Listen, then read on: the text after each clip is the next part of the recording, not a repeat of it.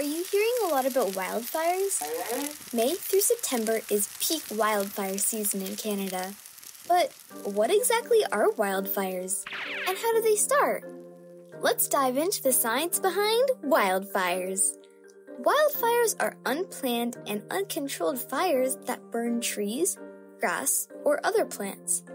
They can spread in all kinds of environments and threaten human lives.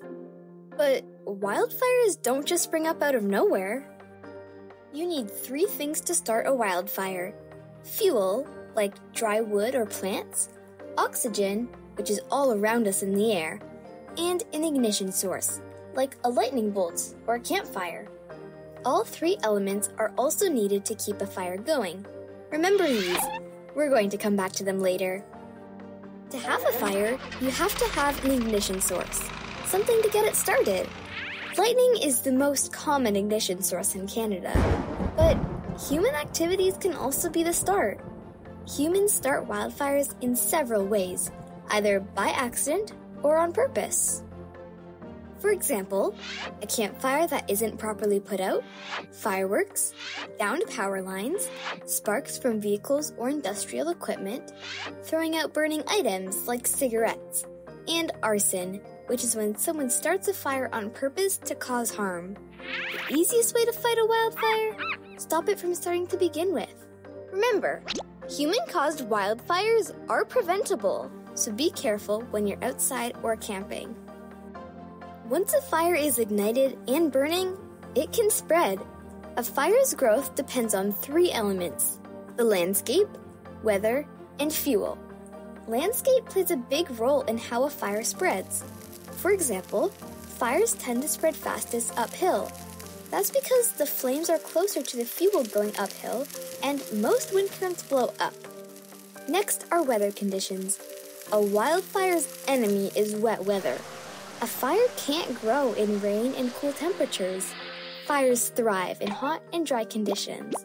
That's because dry wood and plants are very flammable. The drier they are, the faster a fire will spread.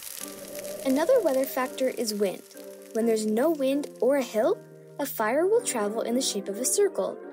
Kind of like a donut, but less delicious. When we add wind, the fire gets pushed and can spread faster. Okay, that's a lot to take in.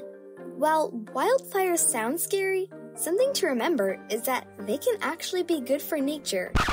Wait, fires can be good for forests? Yep, you heard that right. Let me explain. Fires are a natural part of our ecosystems.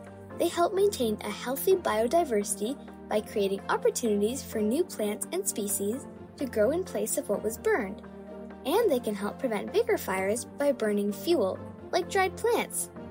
If every fire gets put out, fuel builds up, and that can mean more serious fires down the line. Weird, right? But that doesn't mean we should never put fires out. When fires get out of control or close to places where people live, then something has to be done.